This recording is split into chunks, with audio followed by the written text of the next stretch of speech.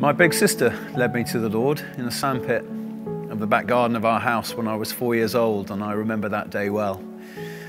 Um, throughout my childhood, uh, I had a close walk with God, and He blessed me. Um, I can remember leaving university, and uh, He very distinctly gave me a promise that He who honours me, I shall also honour, and that if I walked with Him, He would bless my path. He did that, and He absolutely blessed the things that I did when I walked closely with him. Uh, I had um, a beautiful wife, two lovely children, two lovely boys, one called Oscar, one called Matthew. Um, I uh, worked in, in the city, in London, in financial services. Um, we had pretty much everything we needed. I drove a Porsche and Emma had a Mercedes. We had the things that people probably think um, were important in this life. Um, but I took my eye away from God. Um, my pride got in the way. Um, I thought that I'd made it. Um, I had taken a job away from London to be uh, nearer to my wife's work. Uh, I had more time on my hands. Uh, I had money. And uh, I started um, to look for an alternative excitement in my life um, away from God. Uh, I found a website called Betfair and um, uh, I thought I knew something about sport.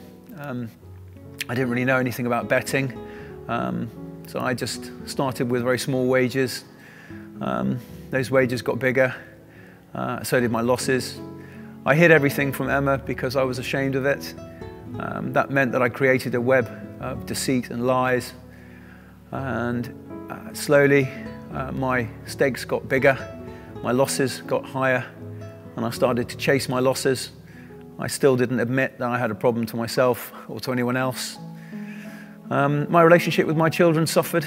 Um, my relationship with my wife suffered, and my friends and my family around me. Um, I hid what I was doing from everyone. Eventually, um, I'd squandered uh, the money that I had, the savings that my wife had given me, um, the equity from our house, um, everything pretty much. Um, eventually, um, desperate to, uh, to re recoup my losses uh, and still afford the things that we had to do to live, um, I found that my corporate card at work worked on the Betfair website. Um, a few months later, uh, £27,000 down the line, uh, my company found out uh, and I was invited in for an interview. It didn't take HR very long to realise that uh, I, it wasn't right for me to continue to work in financial services anymore. I hid that fact from my wife for two months. And um, eventually when she found out, she found my bank statements, she rightly left with the boys. I was left alone in a house. Um, I owed five months rent. Uh, I wasn't eating. I was spending the money that I could on gambling. Uh, I was selling everything that was left in the house.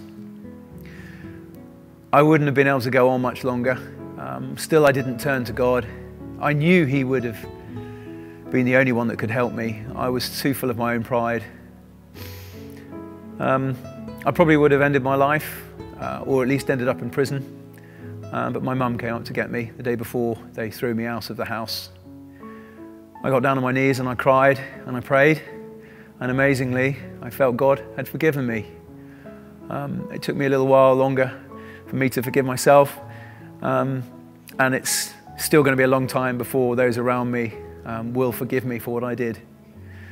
But God has carried out massive reconciliation. Um, financially, um, I'm in a much stronger place. The guys at church here gave me wisdom financially, wisdom about uh, what it's like to have a compulsive addiction uh, and how to handle that and manage it and get through. Um, I haven't gambled since that day. Um, they made me recently the secretary of the Kent branch of the Gamblers Anonymous. It's now my job to meet new members when they come in. Reconciliation um, uh, is not so difficult to do financially. You can repair those things. Um, but trust is difficult to repair. My wife, until two weeks ago, was adamant that she wanted to divorce me, um, and I was resigned to the fact that I'd only ever see my boys again at weekends. But um, through a miracle uh, and an avocado pear, I'm now back um, with my wife. Um, the avocado pear bit comes in because my five year old, who is um, autistic, um, epileptic, and hemiplegic, popped an avocado pear in my pocket when we were shopping one day. Um, I didn't realize until we were packing the car that there was an avocado in my pocket and I hadn't paid for it. So I left Emma with the boys and went back into the supermarket. Um, I paid for it. And when I came back out, there was a look on her face. She realized that I had changed. Uh, and there's only one person that caused that change in me, and that was God. When I live my life um, in the way that He wants me to live, He blesses my life. When I live it in the way that I live it, um, it goes spectacularly wrong. If there is anyone out there who has something uh, that's blocking their relationship, they're doing something in their life that they know isn't right, blocking their relationship with their partner or, or with God, I urge you, please, to talk to someone about it, someone here at church or someone in your family. But get it right and put it right so that you can be put right with God.